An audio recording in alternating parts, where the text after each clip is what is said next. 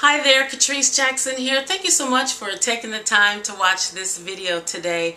And ladies, I am holding something that I know that you love as much as I do. Oh yeah, check out these babies. Yes, yes, yes, yes, yes. Oh my goodness, I love purses. And these are just a few of the favorite purses that I have. And actually, I have so many, it's absolutely ridiculous. But the truth is, I love purses. And I know that you love purses too. So why am I talking about these purses today? Well, you know what? I wanted to share with you something that I've been working on and am finally ready to release out into the world. You may not know this about me, but I have spent the last 15 years being an advocate and a trainer and a voice for domestic violence awareness. I'm very passionate about it. It's my calling and it is the cause that I support every year. And so I usually put on these live events, women empowerment events, where a portion of the proceeds go to a domestic violence program. Well, this year I decided that I was not going to put on a live event, but a virtual, huge, great impact charity event to support a local shelter right here in Dallas, Texas, the Genesis Women's Shelter. And so guess what, ladies? I need your passion for purses to be exercised today, to rise up, because I know you love purses just as much as I do. And you know what? I need you to go out today, this weekend, very soon, and get a purse.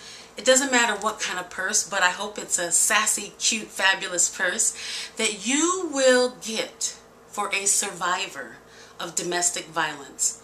A woman who's going to pass through the Genesis Women's Shelter right here in Dallas, Texas. So my fourth annual event this year is a virtual event where you get to participate in exercising the power of the purse so that we can eliminate domestic violence, so that we can break the silence on domestic violence. And so what is purses for a purpose? Every purse that comes in by you that's donated will go to a woman who will pass through the Genesis Women's Shelter. So I want you to go out and get a purse that you would love. I want you to think about what it might be like to have to escape your home and leave in the middle of the night and all you could take is your purse. What would that be like? What would you love to have in that purse?